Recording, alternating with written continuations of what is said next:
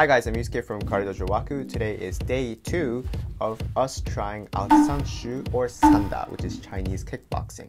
Yesterday we've done a kicking session of Sanshou. Today is going to be about throws and takedowns. Tomorrow's going to be sparring, so don't miss that as well. So yeah, we started by doing some basics. yeah, although this looks like he's just carrying me with his upper body, I later found out that it was all about the lower body. See how I'm using my arms to carry Hiroto over? Yeah, it's not how you do it. So you grab under his hips and put himself on your shoulder like this. Yeah, it was so much lighter like this. yeah, it was amazing actually. Yeah, it's very different. Now it's Hiroto's turn. Yeah, he got it a lot more smoother than me. But it was it was very scary because he lifted my leg up. but yeah, I guess the key was contact and that's the application. And now we're practicing ukemi or passive form. Yeah, so the key here is to oh Hiroto. the key here is to absorb the power with your wrist and the elbow. So you go tatat, yeah, tatat like that, and use your abs, core, core muscles.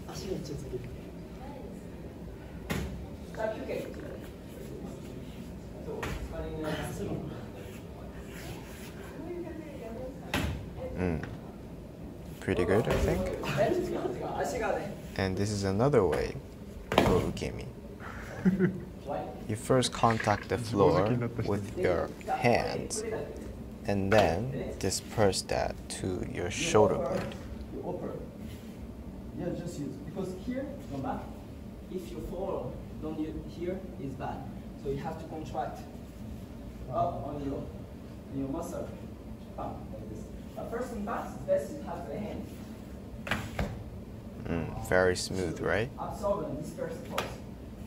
So you See, I'm rolling rather than going from the hand. So this is a completely opposite approach from judo. Because judo, you roll, right?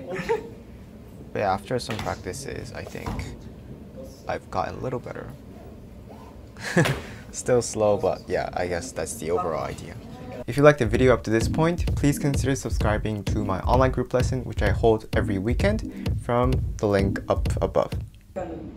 Now, combinations of going to a takedown. We don't have this at all. We don't use both of our hands. It's, we only do ashibarai, so something completely new.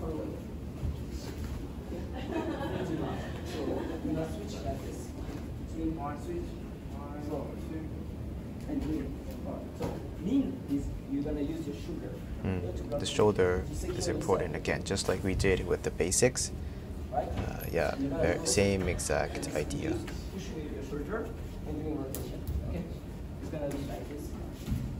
And that movement was from the Tao Taolu video we've done. So if you haven't checked that out, please check that out. Now practicing.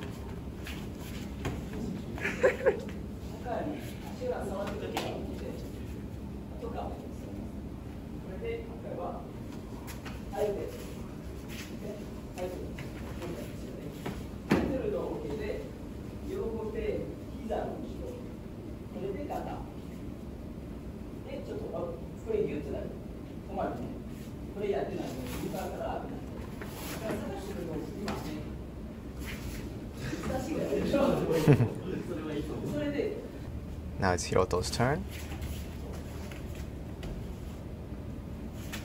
Mm. Good, very good. And now moving on to how to counter that with a defense technique. So it was basically having the force from above and pulling the front leg, just like that, yes.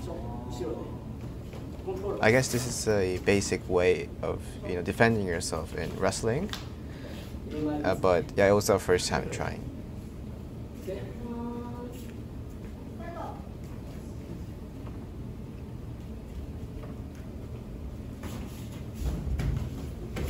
Mm, pulling the front leg.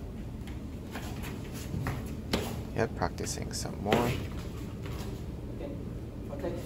And oh yeah, Minh was giving me advice to cover my head when I do the punch. Okay.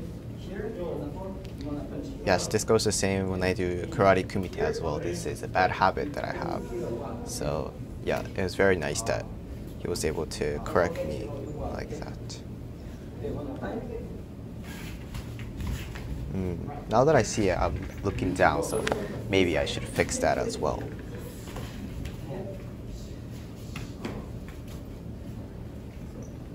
Back here.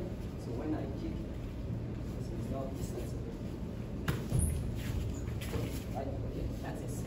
Okay, so but, but it's more like, like sure. Or you can me. In case I, already injured, you can do that, okay? The combinations are different.